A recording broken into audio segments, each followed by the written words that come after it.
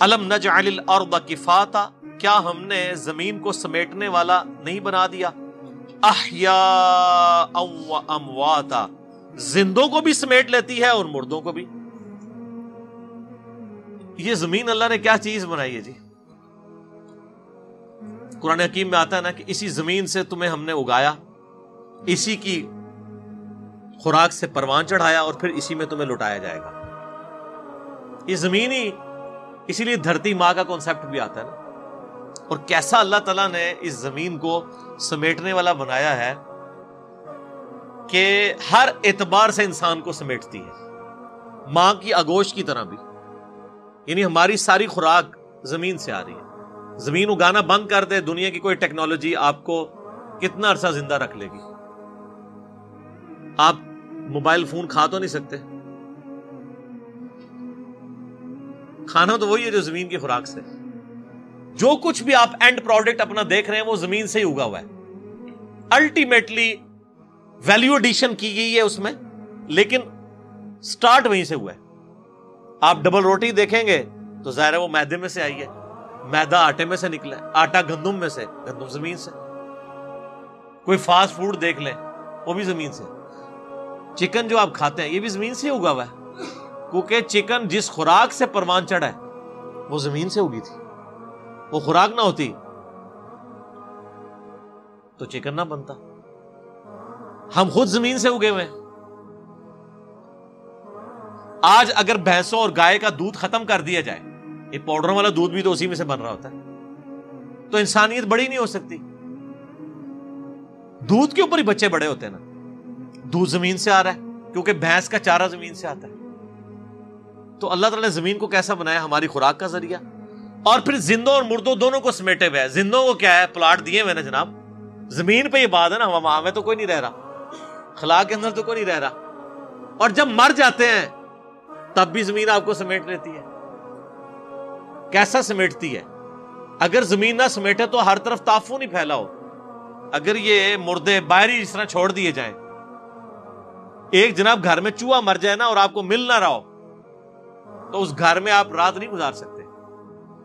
اور جن لوگوں کو تجربہ ہے نا، مجھے تھوڑا سا تجربہ ہوا ہے۔ یہ چوہے کی تو بدبو، کوئی بدبو ہی نہیں ہے جو جو انسانی مردے کی بدبو ہوتی ہے۔ میں ایک وہ قبر کی کھدائی کرنے والے سے ملا تو مجھے بتانے لگا۔ میں نے اسے کہا، یہ لوارس لاشوں کے بارے میں۔ تو کہنے لگا لوارس لاشیں جو ہیں ہم دفنا دیتے ہیں۔ بعد میں اگر کوئی وارث آ جائے اور بہت ضد لگائے تو پھر ہم ہم تو منع ہی کرتے ہیں کہ یار چلو اب یہ دفنایا گیا، ادھر جا کے کیا کرنا ہے اس کو؟ دعائی کرنی ہے، وہ کہیں بھی بیٹھ کے ہو سکتی ہے۔ تو کوشش یہی کرتے ہیں کہ وہ لاش نکلوائی نہ جائے۔ میں نے کہا، کیوں؟ وہ کہتا ہے جی ایک دن پرانی لاش بھی ہو نا، تو کہتا ہے، آپ کئی سو فٹ تک بھی وہاں کھڑے نہیں ہو سکتے، جس طرح بدبو اور تافن اس کا پھیلتا ہے۔ ہوا چلتی ہے تو وہ پورا پھر پھیلتا ہے۔ اور کہتا ہے یہ تو تافن ہے نا، جو کیڑے ہوتے ہیں نا اس کے اوپر۔ وہ لاش نکالیں آپ کیسے؟ تو کہتے ہیں وہ اتنے اتنے سپرے لانے پڑتے ہیں، وہ پھر مارتے ہیں، کیڑے سائڈ پہ ہوتے ہیں، پھر لاش نکالتے ہیں۔ تو یہ انسان کی اوقات ہے۔ تو زمین کیسا سمیٹ لیتی ہے؟ ایون لاش اوپر بھی پڑی ہوئی ہو نا تافون پھیلے گا، کچھ عرصے بعد بیکٹیریا اس کے اندر اس کو کھانا شروع کریں گے ڈی کمپوز ہو جائے گی اور پھر یہی جانوروں کی لاشیں، انسانوں کی لاشیں، ان کا جو فاسفورس ہے وہ زمین کی زرخیزی کا سبب بن جاتا ہے۔ کھاد، کیسا اللہ نے سلسلہ بنایا تو یہ زمین ایسی ہے، مردوں کو بھی سمیٹے ہوئے ہیں، زندوں کو بھی۔ ابھی تو ہم صرف زمین کی بات کر رہے ہیں، زمین کا جو سمندر والا پورشن ہے، جس کی آبادی زمین سے بھی کئی گنا زیادہ ہے۔ کتنی بڑی بڑی ویل مچھلیوں کو، شارک مچھلیوں کو، اور کتنے جانوروں کو سمیٹے ہوئے ہیں۔ ان کی غذا بھی اس میں سے آ رہی ہے۔ اور وہ شارک مچھلیاں بھی مرتی ہیں تو اسی کے اندر رہ جاتی ہیں۔ ان کو بھی سمیٹے ہوئے۔ تو ایک زمین کے ساتھ اللہ نے کیا چیزیں جوڑ دی ہیں؟ ہر چیز۔ زندوں اور مردوں کو زمین نے سنبھالا ہوا ہے۔ بزرگوں نے نہیں سنبھالیا سر، زمین نے۔ بلکہ بزرگوں نے بھی زمین ہی سنبھال دی ہے۔ اینڈ سے ہاں دیکھ لیں۔ بزرگوں کو زمین سے باہر دفنانے کا تو رسک نہیں لیا جا سکتا۔ اندر ہی دفناتے ہیں۔ اللہ نے پردہ رکھا ہوا وجعلنا فيها رواسي شامخات واسقيناكم ماء فراتا۔ اور ہم نے ہی بنا دیے اس میں خوب جمے ہوئے اونچے اونچے پہاڑ اور ہم نے ہی تمہیں میٹھا پانی پلایا۔ یہ پہاڑ جو اللہ نے اسٹیبلائزر رکھے ہیں نا یعنی زمین کو کی ڈائنامک بیلنسنگ کرنے کے لیے۔ یہ اللہ نہیں یعنی زمین کے اوپر سب سے زیادہ مضبوط اللہ کی مخلوق کون سی ہے؟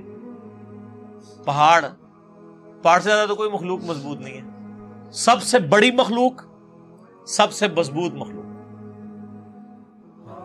آپ کے ذہن میں تو ہاتھی آ جائے گا، ویل مچھلی آ جائے گی، اس کی کیا اوقات ہے پہاڑ کے سامنے؟ ایک آتش فشاں پہاڑ پھٹ پڑے۔ ہزاروں ہاتھیوں کو، ہزاروں مگر بچوں کو لے لے ڈوبے۔ سب سے مضبوط چیز پہاڑ اللہ نے اور ہم نے پانی بھی پلا دیا۔ انہی پہاڑوں میں ایسے ریزرویئر وائرس اللہ نے رکھ دی ہیں۔ پورا پورا سال ابھی بھی آپ کشمیر میں ناردرن ایریاز میں چلے جائیں نا، کئی چشمے ہیں جو پورا سال رکتے نہیں ہیں۔ اتنی سٹوریج ہے پہاڑوں کے اندر کہ وہ جو برف باری ایک باری ہوتی ہے یا بارش پڑی یا برف اور وہ برف پگھلنے کی وجہ سے وہ جو اس کے اندر ریزر وائرس ہیں، اس میں سے پانی نکلتا ہے تو پورا سال ہی نکلتا رہتا ہے۔ اتنا پانی سٹور کیا ہوتا ہے پہاڑوں نے۔ امیجن کریں، پورا سال خشک ہی نہ ہو۔ کو پیچھے کوئی اس کی یعنی کوئی نل جوڑ دی ہے اللہ تعالیٰ نے سمندر کے ساتھ؟ نہیں وہی سمندروں کا پانی ویپریٹ ہو کے جو گلیشیئر کی فارم میں سٹور ہوتا ہے، وہ اتنا زیادہ ہوتا ہے کہ پورا سال چشمے چلتے رہتے ہیں۔ اور لوگ استعمال کرتے رہتے ہیں اور میٹھا پانی، اللہ تعالیٰ ہمارا میٹھا پانی۔ میٹھے پانی کی ہمیں تو یہاں جھیلم میں رہتے ہوئے تو قدر نہیں ہوگی نا سر؟ جھیلم سے آپ بس ڈیڑھ سو ایک سو بیس تیس کلو میٹر دور چلے جائیں نا پنڈی اسلام آباد میں اور دیکھ لیں پانی کی کیا صورت حال ہے وہاں پہ۔ فیصلہ باد چلے جائیں تو آپ دیکھ لیں۔ میٹھے پانی اور صاف پانی کو لوگ ترس رہے ہیں۔ اور وہی ہے جس نے زمین کو پھیلایا اور اس میں پہاڑ اور دریا پیدا کیے اور ہر طرح کے میووں کی دو دو قسمیں بنائی وہی رات کو دن کا لباس پہناتا ہے۔ غور کرنے والوں کے لیے اس میں بہت سے نشانیاں ہیں۔ اور یہ مثالیں ہم لوگوں کے سمجھانے کے لیے بیان کرتے ہیں اور اسے تو اہل دانش ہی سمجھتے ہیں۔ اللہ نے آسمانوں اور زمین کو حکمت کے ساتھ پیدا کیا ہے۔ کچھ شک نہیں کہ ایمان والوں کے لیے اس میں نشانی ہے۔